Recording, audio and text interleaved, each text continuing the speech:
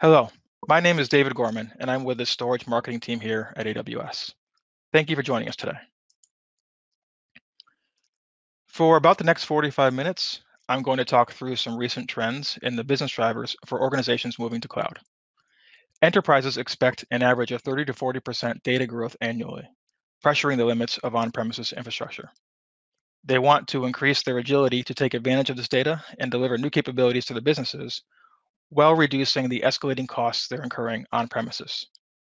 As cloud adoption matures, organizations are rapidly expanding their use in terms of the diversity of applications and use cases, increasingly deploying their existing enterprise workloads on cloud. In this talk, you'll learn what trends are being seen across organizations like yours as they move to cloud, factors that drive choices of what services to adopt, and cost reduction and agility benefits they realize over time after their adoption of AWS storage services. As we engage with thousands of customers, we discern multiple reasons and drivers to move to the cloud. Customers tell us digital transformation is a top priority, even in this COVID 19 impacted economic time. Some organizations still want to strategically modernize a customer facing or back office process to differentiate their organizations. Others are seeing competitors in other industries able to adjust to the global adversity because they're already on the modernization path with cloud. Development and process agility for current staff and teams is also key to many organizations. Development teams come to cloud almost by default now. But economic demands also prioritize cost reductions and optimization, and many sectors of industry are facing a downturn in demand where moving to cloud can actually allow lower spending for on-premises systems and lower management costs. The already existing goals of also closing data centers and not running servers is still a driver for many, and a decision to outsource applications also can drive the shift to cloud. As you contemplate your moves, we want to give guidance on all of these. Massive data growth isn't a new topic. But the new challenge is how to actively create value with this new data. Data is not passive. It has to be stored in an environment that enables using it for the organization's benefit. The amount of data created over the next three years will be more than the amount of data created over the past 20 years. The world will create over three times more data over the next five years than it did in the previous five. By 2023, more than 40% of the world's data will be stored in hyperscale cloud data centers. Enterprises expect 34 to 40% data growth annually.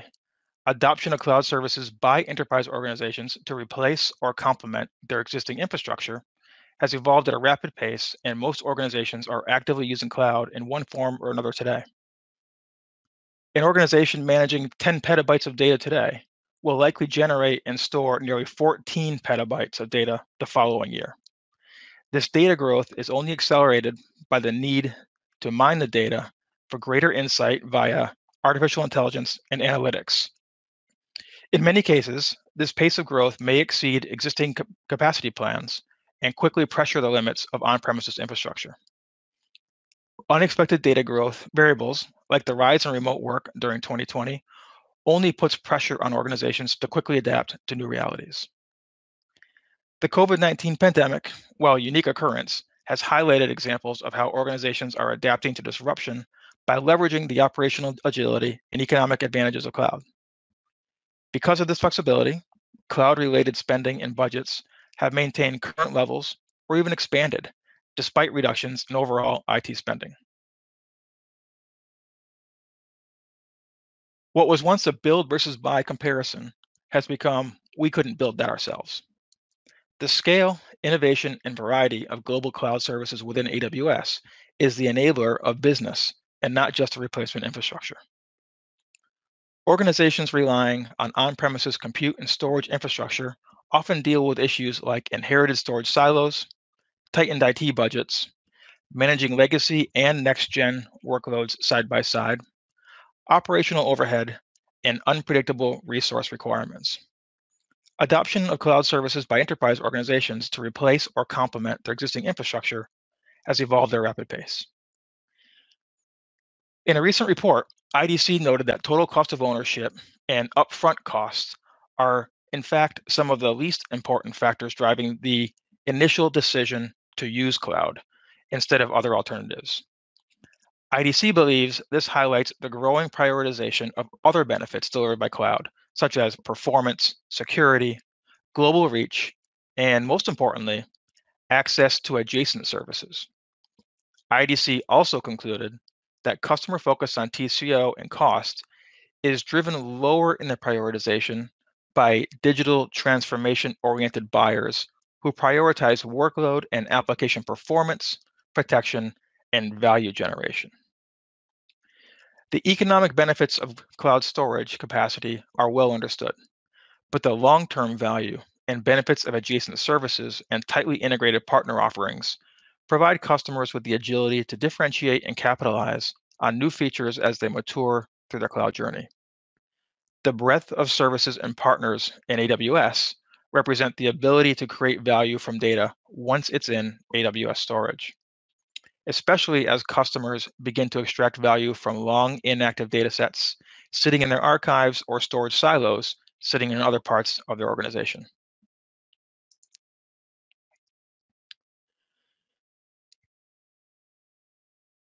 Digital transformation remains one of the primary drivers for application migration and modernization initiatives, and this trend isn't slowing down. Modern cloud storage services are a key component of digital transformation initiatives. And in an environment of shrinking budgets, new and existing storage solutions will be graded against this expectation more than ever before. One important piece of this puzzle is maintaining a flexible IT infrastructure. Changes must be made in budgeting and efficiency when it comes to enterprise IT. And storage will be a key contributor to both the efficiency and cost savings in the immediate future, as well as the enabler of new competitiveness going forward. In light of the pandemic, IDC expects enterprises to continue to allocate more budget to cloud. Prior to the pandemic, 78% of IDC respondents reported that their cloud budget had increased in the past two years and IDC expects this trend to continue. Per IDC, scaling existing applications and retiring existing or legacy hardware are some of the primary reasons that organizations initially consider cloud services. At the point of initial adoption, customers are typically focused on the performance, security, and global reach of the cloud platform. Access to adjacent services within the cloud ecosystem, such as databases, Internet of Things, and analytics, also plays an important role in the initial decision to use cloud. This presents an interesting dynamic to the context of cloud adoption. Buyers care about TCO and price predictability when selecting a cloud provider. Buyers will always care about price when it comes to purchase decisions. However, customer perception of the value of cloud includes both cost related and business related variables and goes beyond TCO to include the potential value of a platform's embedded security and data protection features, as well as the ability to access adjacent services for em- emerging use cases such as IoT, artificial intelligence, machine learning, or databases. In the second quarter of 2020, though, spending in public cloud IT infrastructure surpassed spending on traditional IT infrastructure for the first time. That's not a huge surprise because we've been trending in that direction for a while, but the trend accelerated last year. The pandemic accelerated moves away from on premises hardware infrastructure for practical reasons, like the desire to keep employees safe from physical dangers. It's accelerated moves that customers were already planning to make to the cloud. The hardware infrastructure market has reached a tipping point, and cloud environments will continue to account for an increasingly higher share of overall spending.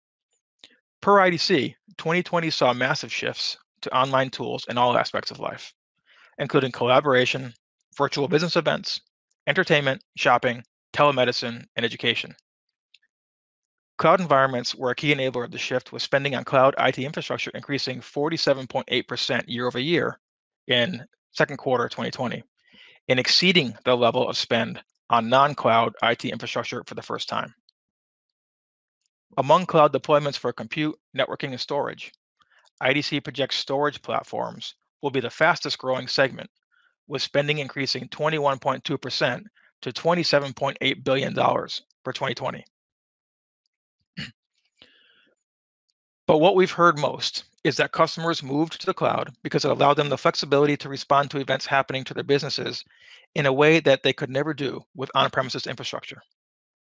So not only did moving to cloud reduce their costs, it also enabled them to scale seamlessly and address new business challenges.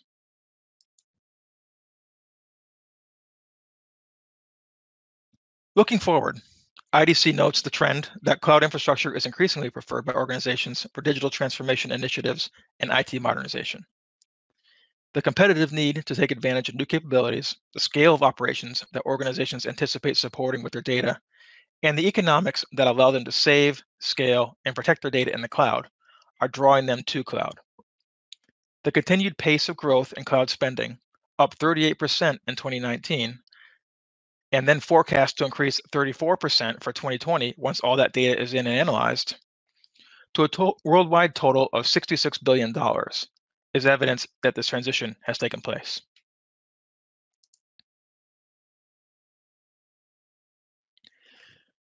Bringing that transformation back to the value of storage, IDC interviewed AWS storage customers about the business benefits they've seen as a result of moving to AWS. IDC recruited these participants in the study and developed their own methodology to quantify the benefits. The white paper footnoted on this slide and available in the links at the end of this presentation includes information about the organizations and the details of IDC's methodology. So you'll be able to read the details behind the numbers. In terms of geographical distribution, three companies were based in the United States, with the remainder in Australia, Belgium, France, New Zealand, Singapore, and the United Kingdom and a cross section of industries was represented. The scope of questions was about improvements noticed after adopting AWS storage services. But interestingly, the candidate responses went beyond the immediate storage improvements. Customers identified benefits beyond the capacity, performance, and features of the storage services they were using. They talked about having more efficient and productive IT infrastructure management, data analytics, application development, and storage management teams. More efficient use of storage resources reduce the cost of both operations and IT infrastructure. Study participants confirmed that the agility, scalability, and performance of AWS storage help their organizations address business opportunities and thereby increase revenue. Reductions in unplanned downtime also provided revenue-related benefits. IDC's methodology for quantifying the benefits looked at the initial costs of infrastructure operations, personnel, and time before adoption of AWS storage services. And then at the same factors down the road once the organizations had matured with AWS storage in order to assign dollar values to the benefits. The greater agility and scalability with AWS improved existing business operations and made it possible to address new opportunities. IT staff was more efficient because fewer cycles were spent on repetitive administration and instead was repurposed to value generating work. The total operating costs for storage decreased with the adoption of AWS storage versus on premises infrastructure. And finally, the fact that the organizations experienced fewer unplanned outages once adopting AWS storage meant that they gained back the lost employee productivity and revenue that they once had to accept losing when on premises.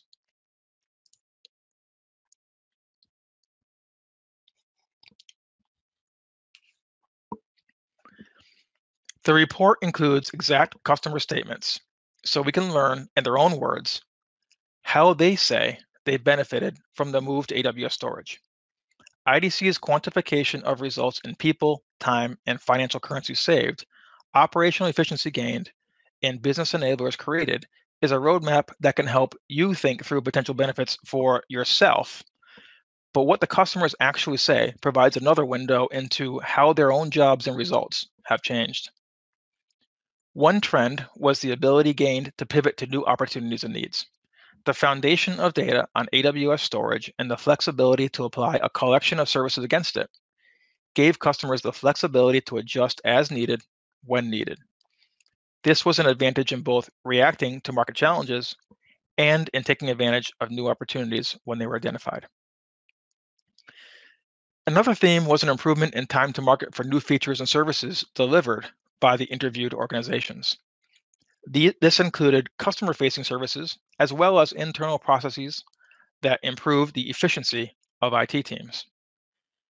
The ability to add AWS storage and services as needed, when needed, with simple setup and configuration makes it easier on IT teams to stand up new services and even iterate on the services they already have. The extra benefit of the simplicity of managing AWS storage is that IT team resources were freed from administrative tasks and able to repurpose their time toward developing the next innovations for their organization. The flexibility to scale up and down as needed and only pay for what is being used was highlighted as being valuable in meeting spiky demands and seasonal trends. Economically, organizations were free to spin down resources and stop incurring costs, which is something that was not possible when they were previously operating on premises. I mentioned that new capabilities are drawing organizations to cloud. Then they look at the economics of what cloud storage to adopt. When looking at cloud pricing, it's tempting to just compare the cloud storage cost against the acquisition cost of storage hardware. But that doesn't show you the full picture. In traditional on-premises infrastructure, there are several other costs that you don't incur when running in the cloud, including the cost of data center space, power, cooling, the cost of building and maintaining a network, hardware and software maintenance expenses, and the headcount costs to operate this infrastructure. You also typically incur the cost of underutilization. That is, any storage capacity you've purchased but aren't using is in effect increasing your per gigabyte cost of data stored. In contrast, using services like Amazon S3 and Amazon EFS, when you delete data, you stop paying for that storage. So there's no underutilization expense. And finally, when on premises, you pay for the cost to migrate data from one system to another, which can be substantial, particularly in terms of time required to do the migration. That periodic migration due to hardware upgrades is gone when you move to cloud storage.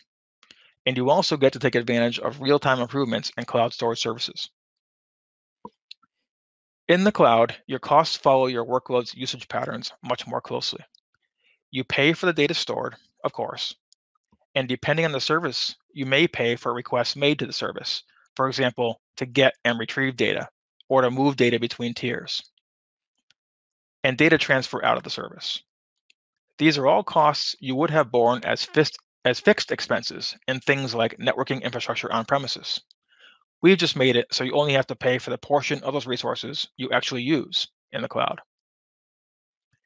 Then you have the ability to cost optimize your applications over time in the cloud and stop paying for many of those resources. Something that you just can't do on premises when you've already made the fixed infrastructure investment. I encourage you to get started with a TCO analysis based on common patterns we see at aws.amazon.com slash TCO-calculator. When we compare apples to apples, we find that the total cost to run in AWS is favorable to running on premises. Similar to what we saw from IDC earlier, CIOs tell us that cost is not the key factor in their decision to move to cloud. Agility and innovation are usually at the center of their motivation. However, being at least cost neutral is table stakes before considering any migration to the cloud. We typically see at least 20% savings with just a lift and shift. Over the first months, customers continue to optimize their EC2 instances and S3 storage classes for additional 20 to 30% savings. Then, by adopting higher level services, customers further optimize, many seeing savings of 60% or more. This is an important point to consider. The benefits of cloud services and the opportunities to optimize operations, agility, and economics continue as you scale your operations in the cloud. Continual innovation, new features, and new services become a catalog from which to choose rather than new projects you need to build, and their benefits are cumulative.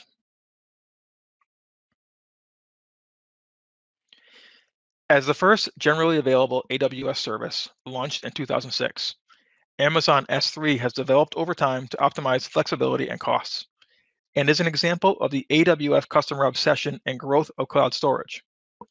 Let's start with a look at S3. With its low storage costs, unlimited scalability, 11 nines durability, and 15-year record of operational excellence, Amazon S3 and S3 Glacier is the best foundation for a data lake. Because S3 is object storage, all of your data can be stored in its native format, allowing you to retain flexibility to adapt to different use cases in the future. And S3 has multiple different storage classes and a vast array of management functionality that helps you reduce your storage costs. Since its introduction, Amazon S3 has constantly innovated on behalf of our customers to make cloud storage more cost effective and easier to manage. The graph you see on the left shows the over 80% reduction in S3 standards price since 2006. Let me share a bit about how we think about storage classes and total cost reduction. S3 storage classes provide customers different ways to store their data in S3, and they are a reflection of AWS pricing principles. These principles are not unique to S3, but are really an AWS-wide concept. In S3, they guide our thinking when it comes to storage classes. First, no upfront cost, no investment required, which allows you to innovate faster. Second, pay as you go, with no commitment required. You can scale up and down and just use the amount of storage you want. That means you don't underutilize your storage because you really pay only for what you use. However, the more you use, the less you pay, which is the third principle. For example, in the S3 standard storage class, you have automatic integrated volume discounts. The more storage you use, the less you pay. Finally, there is the principle that you pay less as AWS grows. That really means we innovate on behalf of our customers. Over time, we have launched more regions and more availability zones. We have introduced more storage classes, and we have passed savings onto our customers in the form of price reductions. And on the right, you can see how we've continued to add more storage options over time. S3 Intelligent Tiering is an example of a feature being added to help customers continue optimizing their operations and costs long after they've made the move to AWS storage. S3 Intelligent Tiering is designed to optimize storage costs automatically when data access patterns change without performance impact or operational overhead. It's the first cloud object storage class to deliver automatic cost savings by moving data between two access tiers, a frequent access tier and a lower cost infrequent access tier when access patterns change, and is ideal for data with unknown or changing access patterns. Most recently, we launched two new storage classes in S3 Outposts to deliver object storage to your on-premises AWS Outpost environment, and Amazon S3 Intelligent Tiering Archive tiers, supporting automatic data archiving to further reduce storage costs by up to 95% when objects become rarely accessed over long periods of time. By extending the cost savings capabilities of S3 Intelligent Tiering with the addition of archive and deep archive access tiers, S3 enables customers to automate the full data lifecycle in a single self-managed storage class. We launched all these storage classes because customers told us they have use cases which they want to store in S3, and they are looking for the ideal storage class.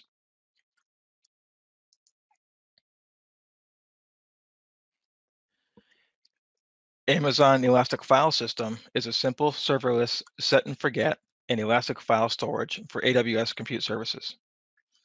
EFS is ideal for cloud native applications and elastic workloads, such as content management systems. EFS customers are primarily builders who require shared file storage for their applications and workloads. They value the simplicity, scalability, and integrations with other AWS compute services, including containers and serverless. You can get up and running in just seconds in as little as two clicks and have petabyte scale elastic storage that's trivially easy to use. EFS provides the capabilities and integrations you need to confidently run business critical apps needing shared file storage in the cloud. EFS is elastic, automatically scaling up or down as you add or remove files. And you pay only for what you use. Your performance automatically scales with your capacity, which, by the way, EFS file systems scale to petabytes in size. EFS is also highly available and designed to be highly durable. We offer a 4 nines availability SLA, and we're designed for 11 nines of data durability. To achieve these levels of availability and durability, all files and directories are redundantly stored within and across multiple availability zones. EFS file systems can withstand the full loss of a single availability zone, while still providing the same quality of service in the other availability zones. EFS is serverless. You don't need to provision or manage any infrastructure or capacity. And as your workload scales up, so does your file system, automatically accommodating any additional storage or connection capacity that you need. EFS file systems support up to tens of thousands of concurrent clients, no matter the type. These could be traditional EC2 instances, containers running in one of your self-managed clusters or in one of the AWS container services, Elastic Container Service, Elastic Kubernetes Service, and Fargate, or in a serverless function running in AWS Lambda. You can also access your EFS file systems from on-premises via AWS Direct Connect and AWS VPN. In terms of performance, EFS file systems provide low, consistent latencies in the single-digit millisecond range for active file system workloads and can scale to tens of gigabytes of throughput and support over 500,000 IOPS. And finally, EFS storage classes provide you with automatic cost optimization and help you achieve an optimal price to performance blend for your workloads. With our native lifecycle management capability, files that you aren't using frequently will be automatically moved to lower cost storage classes, completely transparently to users and applications.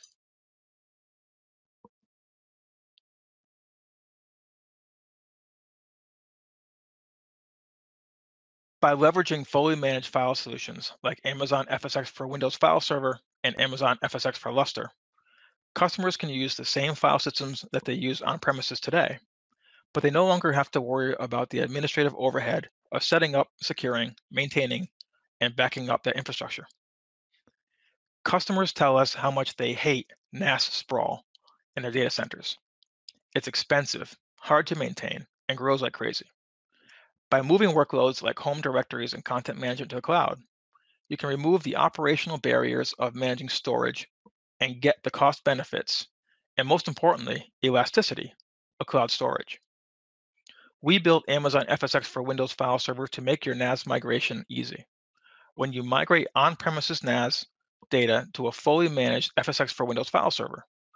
You keep all the same features you're used to having while massively improving scalability, availability, and performance, and getting the elasticity of AWS. We built Amazon FSx Lustre for compute intensive workloads like machine learning, high performance computing, and other high performance processing.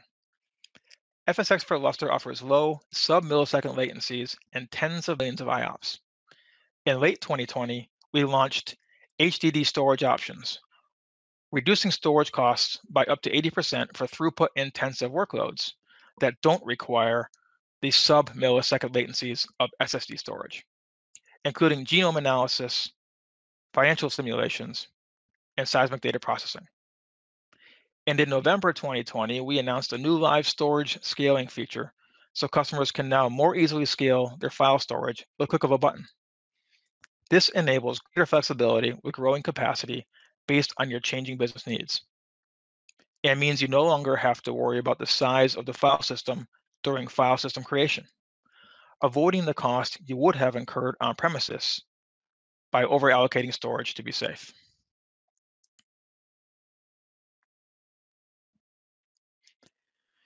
Amazon Elastic Block Store delivers highly available and performant block storage for your most demanding business critical applications like databases and ERP systems, delivering on all functional levels speed, simplicity, reliability, scalability, security, and cost.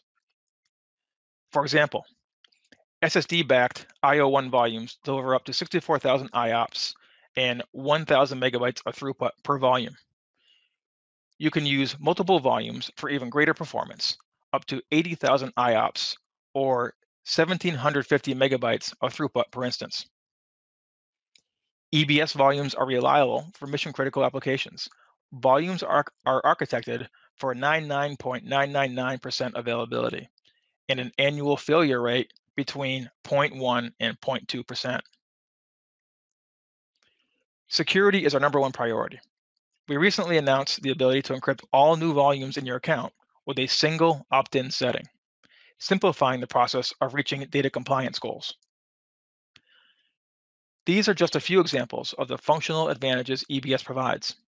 We have scaled and architected EBS to offer industry-leading performance and functionality for the vast types of customers that AWS serves, from first-time builders to global enterprises to major government institutions.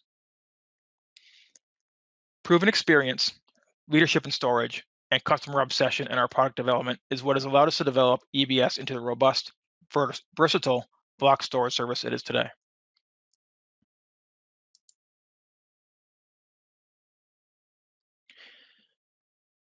Now, let's talk about what customers are actually building on AWS storage.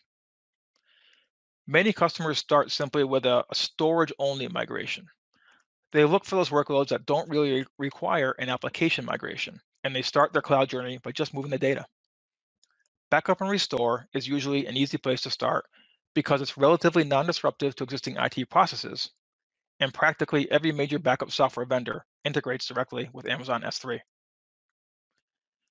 Customers with large data archives for long-term retention or for regulatory compliance are also quickly moving to AWS because they know how unreliable and costly their on-premises tape infrastructure is. By moving that data to AWS, they can save a lot of money and ensure that their, their data is there when they need it because of the constant data validation and fixity checking that we perform at AWS. Home directories are another storage-only move that can provide significant storage cost savings with minimal disruption to existing processes. And over 10,000 customers to date have built their data lakes in AWS. They choose AWS storage because they know that data movement is one of the hardest parts of building a data lake. By storing their data in, in AWS, they can bring a variety of analytics tools to the same data set, eliminating the data movement complexity and tearing down data silos. By consolidating all of that data in one place, it makes an AWS data lake an excellent foundation for artificial intelligence and machine learning data. Data used in high performance computing environments, or just large scale big data analytics. However, one of the most common sets of workloads that customers want to move to AWS is their business critical applications, things like ERP solutions, databases, and the content management systems for their websites. And often, they simply want to lift and shift those applications into the cloud without making major changes right away. AWS provides a number of services to make these lift and shift migrations possible, while also helping customers save money in the process.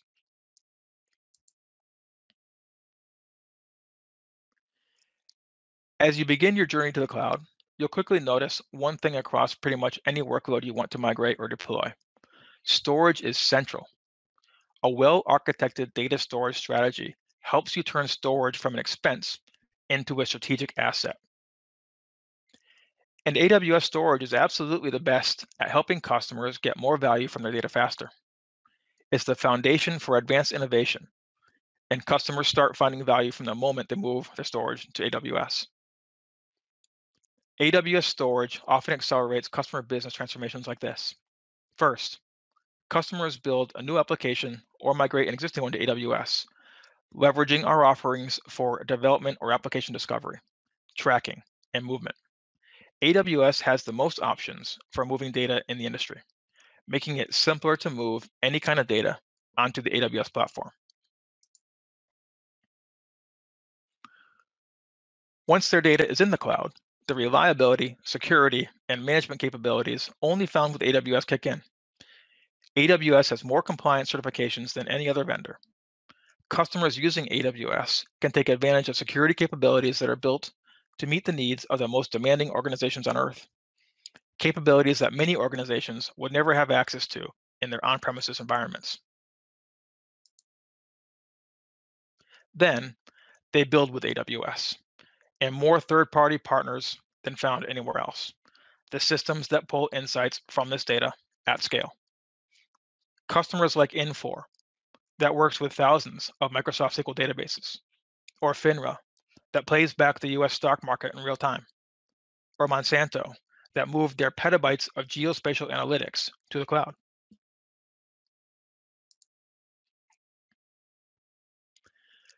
Customers also develop new use cases that transform their businesses. Sony DADC cut media workflows from weeks to hours. iRobot is mapping connected homes with millions of robots without managing any servers. Sprinklr can recover thousands of servers and petabytes of data in another global region in less than four hours. SiriusXM took a small custom application acquisition to global production at scale in 90 days. This kind of innovation has drawn millions of customers to leverage AWS storage services. And that success has created a flywheel effect that allows us to bring you more innovation at an accelerating pace.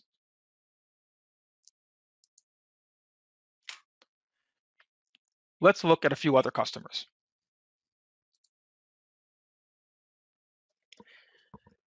NASDAQ is a multinational financial services and technology corporation that owns and operates the NASDAQ Stock Exchange.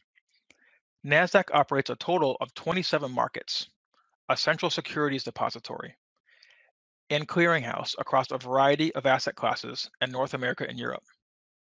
It is home to nearly 4,000 listed companies globally across its markets and also provides its mission critical technology to other market infrastructure operators located in 50 countries.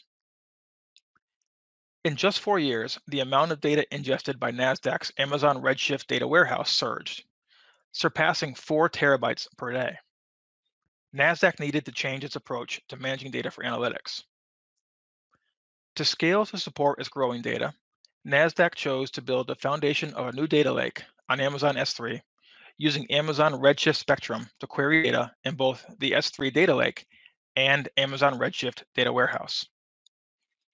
As Robert Hunt, Vice President of Software Engineering at NASDAQ, put it, we were able to easily support the jump from 30 billion records to 70 billion records a day because of the flexibility and scalability of Amazon S3 and Amazon Redshift. In addition to that, they can now load financial market data five hours faster, and Amazon Redshift queries run 32% faster.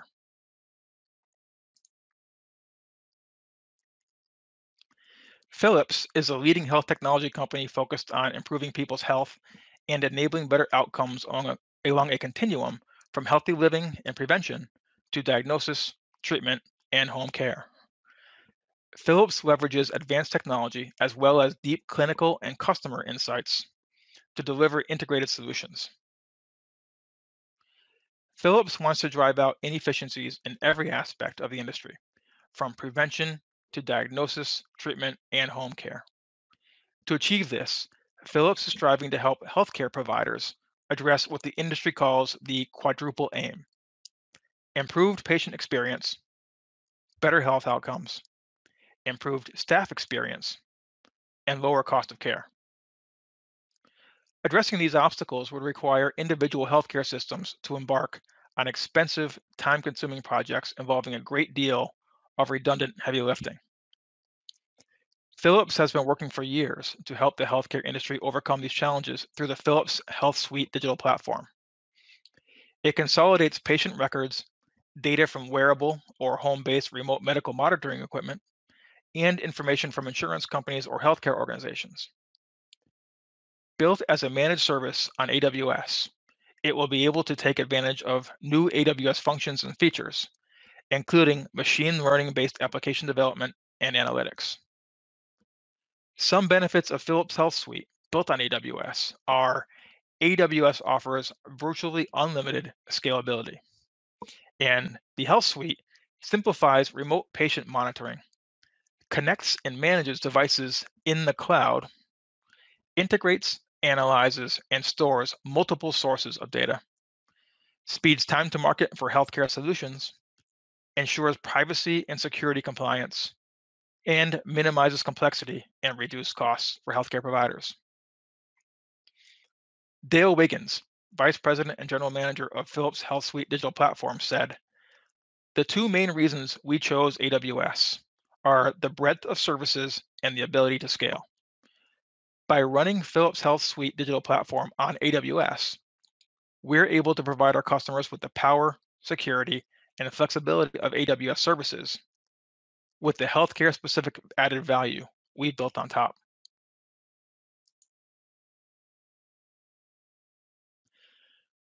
Blackthorn Therapeutics is a clinical stage biopharmaceutical company focused on developing precision medicines to treat central nervous system disorders by using advanced data science and neuroinformatics to map drug targets to specific brain circuitry and corresponding behaviors. Blackthorn does this pharmaceutical therapy design work based on MRI images and identifies participants for clinical trials developing therapies for central nervous system disorders. Blackthorn creates machine learning algorithms for internal use and to deploy in actual clinical trials to pre-screen for eligibility for the trials. Standard file systems aren't designed to be concurrently accessed by a large number of EC2 instances and containers running on Amazon e EKS. Blackthorn's data lake is based on S3, but they noticed after several performance benchmark tests that results slowed down when they tried to share and process large volumes of MRI imagery data. After a POC, Blackthorn determined that Amazon FSx for Lustre was a fit for their high performance needs and unique shared file capabilities requirements.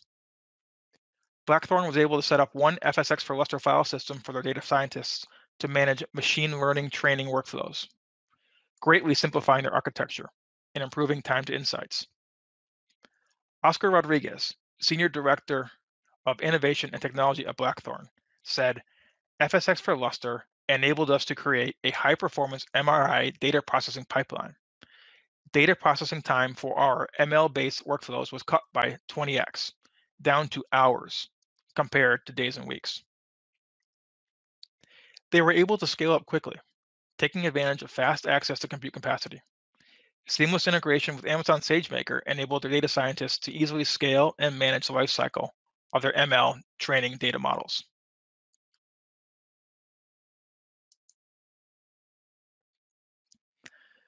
Our last example adds an additional angle, the involvement of an AWS partner who worked directly with the customer. Customers come to AWS in many ways, and if they have a partner they already work with, we're happy to support that choice. Cinesite Studios is a leading digital entertainment studio with credits on animated features like The Addams Family, Extinct, and Riverdance, and visual effect projects such as The Avengers Endgame, Rocketman, The Witcher, and the James Bond movie franchise. Cinesite has a visual effects division and an animation division, offices in Montreal, Vancouver, London, and Berlin.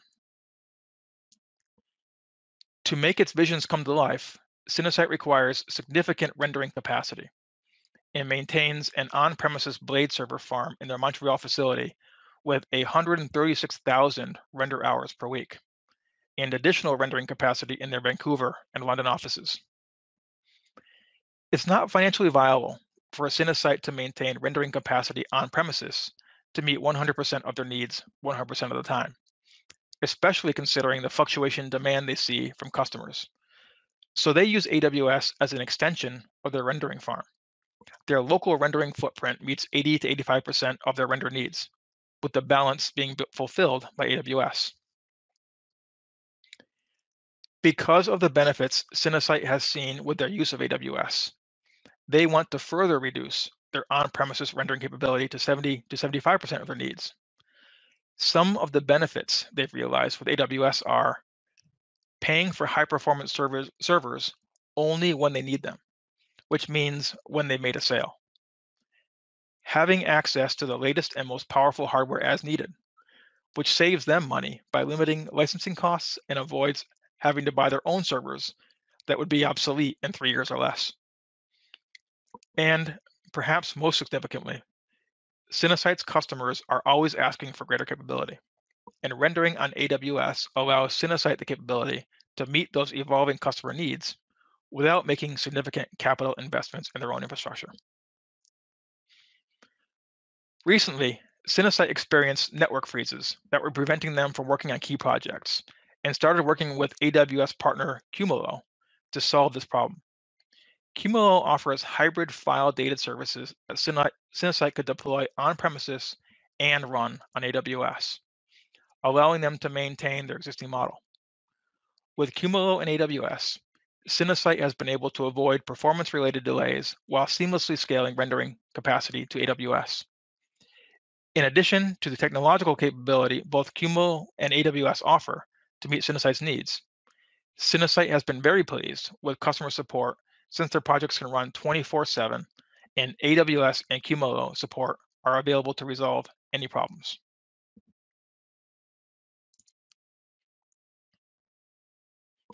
Hopefully, these examples have been helpful for you in imagining the ways you can create new value using AWS storage and other adjacent services from AWS and our partners.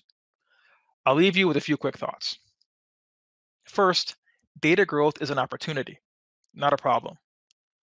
The key is to understand how to use the data to derive value. The capabilities, scale, agility, and innovation in cloud are drawing more workloads from on-premises. You'll be most successful if you start planning how you're going to leverage the cloud now instead of waiting until competition builds an advantage by moving first.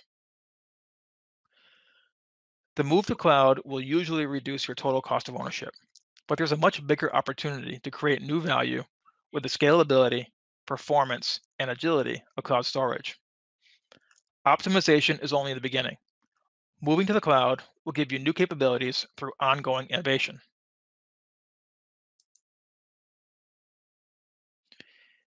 To help you work through what to do next, I provided a few resources that are related to what we've discussed today.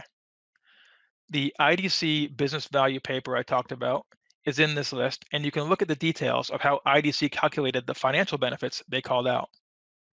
The other resources linked here will give you additional data points that may map the cloud moves you're considering, or highlight some that could be opportunities for your organization as well. With that, I want to thank you for joining us today.